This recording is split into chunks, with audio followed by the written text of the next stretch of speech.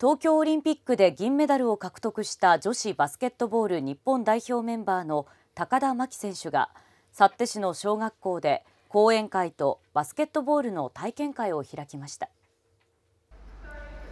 幸手市の吉田小学校を訪れた高田選手ははじめにおよそ60人の全校児童を前に講演しました。講演は高田選手の身長についてのクイズなどを交えて行われよく食べてよく寝ていたという高田選手が小学校卒業の頃には身長が170センチあったことを話すと児童からは驚きの声が上がっていました。また質問コーナーで失敗した時の気持ちの切り替え方について聞かれると高田選手は失敗は誰にでもある。失敗を経験と捉えて次はどうするかを考え行動することが大切と。失敗しても行動することの大切さを児童たちに伝えました。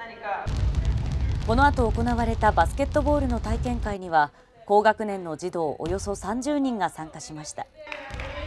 児童たちは高田選手の指導を受けてドリブルやパスシュートの練習をした後チームに分かれてミニゲームを行い積極的にシュートを狙うなどして汗を流しました。とても楽しかったしなんかシュートの練習やドリブルの練習をまた学ぶことができたのでとても良かったです初めてあの牧選手に会ってテレビで見るよりとても迫力があったし、えっと、バスケットボールをあの体育の授業以外でやるのは初めてだったのでとても勉強になったりとても楽しくスポーツができたと思いました。